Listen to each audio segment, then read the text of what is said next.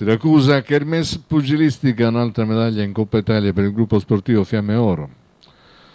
Nella Coppa Italia, Kermesse Pugilistica tenutasi a Roseto degli Abruzzi sabato e domenica scorso, i piccoli atleti Leonardo Romano e Alessandro Piazzese, entrambi di 8 anni, allenati dal responsabile della palestra delle Fiamme Oro di Siracusa, Diego Caldarella, hanno conquistato la medaglia d'argento nella categoria Cangurini. Al vice sovrintendente della Polizia di Stato Diego Caldarella e ai suoi piccoli atleti sono pervenute le congratulazioni del questore di Siracusa Benedetto Sanna.